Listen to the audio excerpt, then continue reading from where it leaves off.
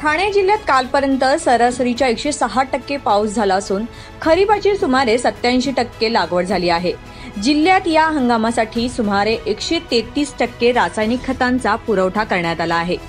जिल्ह्यात खते बियाण्यांचा पुरेसा पुरवठा करण्यात आला आहे. विविध योजनेअंतर्गत ठाणे जिल्ह्यात एकशे सत्याहत्तर शेतीशाळा असून पाच हजार तीनशे दहा शेतकरी बांधवांना प्रशिक्षण देण्यात आलं आहे.